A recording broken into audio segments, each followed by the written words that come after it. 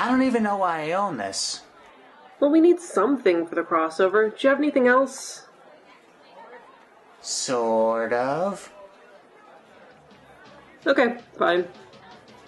Josie and the Pussycats began as a series at Archie Comics. It primarily focused on the lives of bandmates Josie, Melody, and Valerie. The comic was adapted into a musical mystery solving cartoon, which in the second season went into outer space for whatever reason. Then in 2001, it was made into a live action film, so everybody come along as Shea and I watch this thing.